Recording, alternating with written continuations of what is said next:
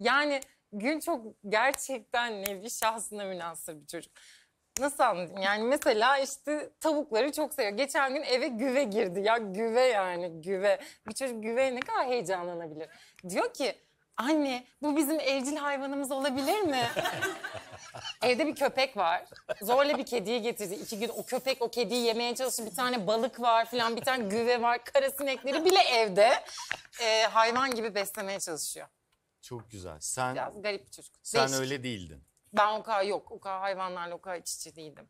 Ya hayvan, işte toprak, çamur, sümüklü böcek mesela gece dörtte tuvalete kalkıp salonun ortasında sümüklü böcek görüyorum. Çünkü cebine koymuş, onu bir yere koymuş. O oradan yavrum gitmeye çalışıyor balkondan falan ama o sümüklü böcek görüyorsun böyle. Ne işi var burada? Eve getirmiş. Vay anasını.